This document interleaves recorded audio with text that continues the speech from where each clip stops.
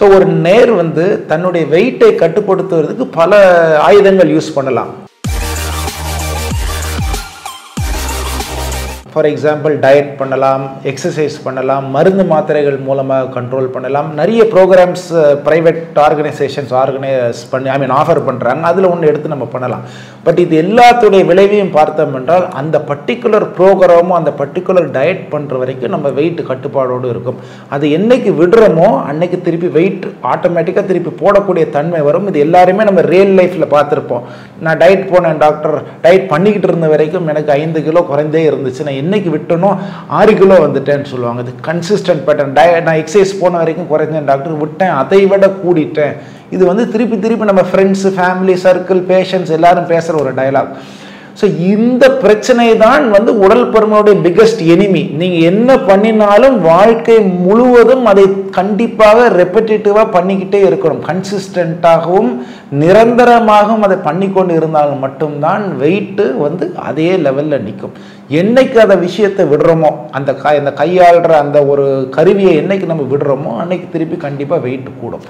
So வந்து உலக லெவலில் ரிசர்ச்சில் என்ன கண்டுபிடிச்சிருக்காங்க என்றால் அறுவை சிகிச்சை உடல் பருமனுக்காக பண்ணக்கூடிய அறுவை சிகிச்சை மட்டும்தான் கன்சிஸ்டண்ட்டாக வெயிட்டை குறைவாகவே வைத்து கொண்டிருக்கிறது என்றது வந்து இன்டர்நேஷ்னலி அக்செப்டட் ஒரு ஃபேக்ட் சரிங்களா? வந்து பெரிய பெரிய ஸ்டடீஸில் வந்து பத்து வருடம் பதினைந்து வருடம் ஆகியும் கூட பேஷண்ட்டோட வெயிட்டு குறைவாகவே இருக்குதுன்றது வந்து ஒரு கன்சிஸ்டன்ட் அப்சர்வேஷன் ஸோ அதன் காரணமாக தான் வந்து உடல் பருமன் வந்து ஒரு உயிர்கொல்லி நோயாக மாறும்போது அதாவது இந்த பாடி மாஸ் இண்டெக்ஸ் நாற்பதுக்கு மேலேன்னு சொல்கிறது வந்து சிவியர் ஒபிசிட்டின்னு சிவியர் ஒபிசிட்டின்றது வந்து ஒரு டிசீஸ் அது அதோடைய தனி குணத்தால் மட்டுமே ஒருத்தருடைய உடலுக்கும் உயிருக்கும் பாதகம் ஏற்படும் என்ற காரணத்தால் தான் வந்து அவங்களுக்கு அறுவை சிகிச்சை வந்து ரெக்கமெண்ட் பண்ணுறாங்க ஸோ இந்த அறுவை சிகிச்சை பண்ணக்கூடிய பேஷண்ட்ஸுக்கு வந்து நிரந்தரமான ஒரு வெயிட் லாஸ் பேட்டர்ன் இருப்பதன் காரணமாக தான் இது வந்து உலக லெவலில் இது அக்செப்டடான ஒரு ஆப்ரேஷனாக இருக்குது இதில் ஒரு சின்ன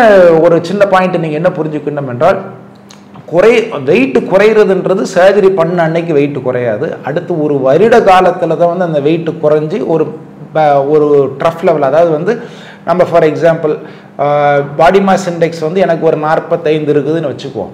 இந்த நாற்பத்தைந்துலேருந்து ஒரு இருபத்தெட்டு டு முப்பதுக்குள்ளே வந்து குறைஞ்சு நிற்பேன் ஸோ என்னுடைய body mass index around twenty eight வர்ற வரைக்கும் என் வெயிட் குறைஞ்சிக்கிட்டே வரும். இந்த குறையிற இந்த டைம் ஸ்பேனை பார்த்தீங்கன்னா பன்னெண்டு டு பதினைந்து மாதங்கள். ஸோ ஒரு வருஷம் ஒன்னே கால் வருஷம் ஆனால் தான் என் வெயிட் வந்து கரெக்டாக ஸ்டெபிளைஸ் ஆகி நிற்கும். இந்த ஸ்டெபிளைஸ் ஆகி நிற்கக்கூடிய வெயிட் வந்து அடுத்த எத்தனையோ வருஷங்கள் பத்து பதினைந்து வருஷம் ஸ்டடி பீரியட் பார்த்தது வரைக்கும் சொல்கிறேன் அதே லெவலில் இருக்கக்கூடுன்றத நம்மளுடைய எதிர்பார்ப்புகள். இந்த அதே லெவல்ன்றது ஒரு த்ரீ ஃபோர் கிலோஸ் மேலே கீழே போகலாம்.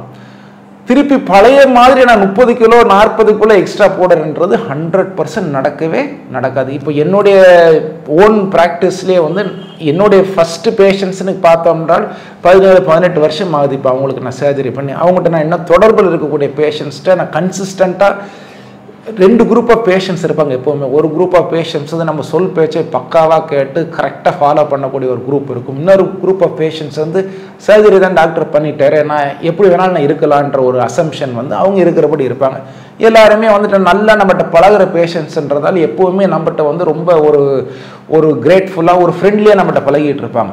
ஸோ இதில் இந்த பேட்டர்னில் பார்க்குறது ஒரு குரூப் வந்து வெயிட் லாஸ் கன்சிஸ்டண்ட்டாக மெயின்டைன் பண்ணிக்கிட்டே இருக்கு. இன்னொரு குரூப் என்ன தெரியுமா சொல்லுவோம் டாக்டர் இப்போ சேதரி போன ஒரு ஏழு எட்டு வருஷம் ஆச்சு நான் ஒரு நாலஞ்சு கிலோ போட்டேன் டாக்டர் ஆனால் அதே லெவலில் மெயின்டைன் ஆகுது. ஆனால் வெயிட் போட்டிருக்கேன் அப்படின்ற ஒரு இது நம்ம கேள்விப்படும். பட் அவங்ககிட்ட எவ்வளவு கிலோ முதல்ல குறைந்தார்கள் என்று கணக்கு போட்டு பார்த்தோம் என்றால் அறுபது எழுபது கிலோ குறைந்த பேஷண்ட்ஸ் திருப்பி ஐந்து பத்து கிலோ போடுறது வந்து ஒரு பெரிய விஷயம் இல்லை லாங் ரனில் நான் அறுபது எழுபது கிலோ திருப்பி போடுவாங்களான்னா ஹண்ட்ரட் பர்சன்ட் திருப்பி போடவே மாட்டார்கள். அதுதான் என்னுடைய பாயிண்ட்